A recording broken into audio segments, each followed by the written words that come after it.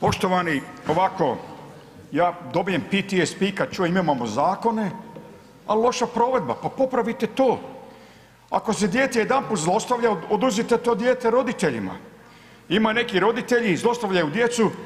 i njih, ta su djeca u domovima i treba samo dva puta godišnje posjeta da ne izgube biološko pravo, oduzmite djecu,